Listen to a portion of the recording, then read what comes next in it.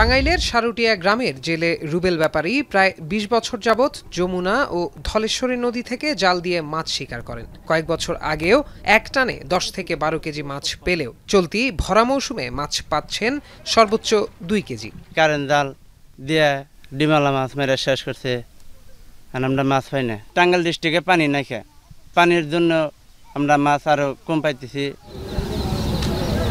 যমুনা নদীর মাছের জন্য বিখ্যাত ভুয়াপুরের গোবিন্দাসী বাজার। নদীতে সারারাত মাছ ধরে এ বাজারে ভোরে নৌকাযোগে দেশীয় মাছ নিয়ে আসেন দুই শতাধিক জেলে। কয়েক বছর আগে প্রতিদিন ঐতিহ্যবাহী এ বাজারে পঞ্চাশ মন মাছ উঠলেও এখন মাছ উঠছে সর্বোচ্চ দশ মন।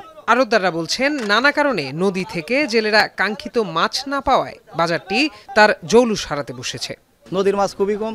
এর আগে মনে করেন দেখা পাঁচ বছর আগে এই বাজারে তিরিশ পঞ্চাশ মন উঠছে। এখন মনে দশ মন মাছ উঠে খুব কঠিন।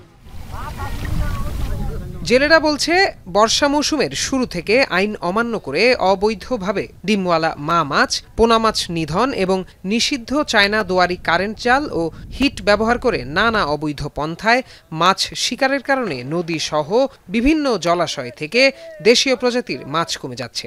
চায়না জাল এখন মনে করেন যে আমরা মাইসে কিনছে দেখে ওই দুই তিনটা কিনছি আমি। চায়না জাল ফলে তারা নিচের মাছগুলা মেরে ফেলে। যারা ডিম দিত বাচ্চা দিবে ভবিষ্যতে মাছ বেশি হবে সেগুলা মাছ তারা মাইরা ফেলছে। বর্তমানে মাছ টাছ নাই এখন গুদারা বাই পাতাইলা গুদারা বাই পাঁচ মাস আর ছয় মাস সাত মাস বন্ধ থাকি।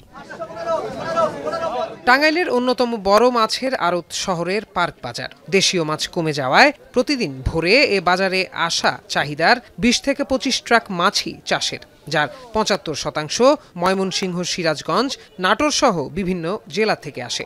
বিভিন্ন জায়গায় সুইচ গেট করার কারণে এই পানিগুলা বিল হাওয়ারে না যাওয়ার কারণে এই মাছগুলো উৎপাদন হয় না।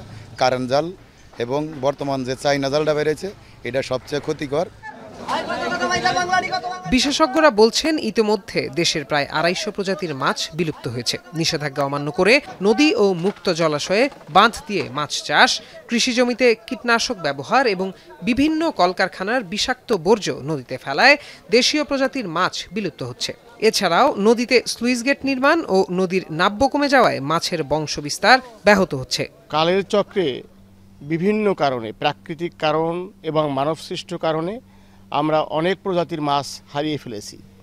এখন আমরা দেখছি প্রায় দুইশো পঞ্চাশ প্রজাতির মাছ আমরা খুঁজে পাচ্ছি না। জেলায় বছরে প্রায় আটাশি হাজার টন মাছের চাহিদা থাকলেও উৎপাদন হয় প্রায় পঁয়ষট্টি হাজার টন। মাছের উৎপাদন বাড়াতে চাষিদের প্রশিক্ষণের পাশাপাশি আধুনিক পদ্ধতিতে মাছ চাষের জন্য উদ্বুদ্ধ করা হচ্ছে। ঘাটতি পোষানোর জন্য আমরা বিভিন্ন কার্যক্রম গ্রহণ করে থাকি বিশেষ করে পুকুরে মাছ উৎপাদনের জন্য আমরা নতুন নতুন প্রযুক্তি যাতে চাষিরা গ্রহণ করে সেই বিষয়ে আমরা প্রশিক্ষণ দিয়ে থাকি, প্রদর্শনী কার্যক্রম গ্রহণ করে থাকি, পরামর্শ প্রদান করি, মাটি এবং পানি পরীক্ষা করে থাকি। জনসচেতনতা বৃদ্ধির পাশাপাশি সরকারি নির্দেশনা শতভাগ বাস্তবায়নের মধ্য দিয়ে দেশীয় মাছের সুদিন ফিরে আসবে এমনটাই প্রত্যাশা সংশ্লিষ্টদের। এখন টাঙ্গাইল। আড়াইশোটিরও বেশি ডিজাইন অপশন নিয়ে ওয়াল্টন স্মার্ট ফ্রিজ বোঝে আপনার প্রয়োজন।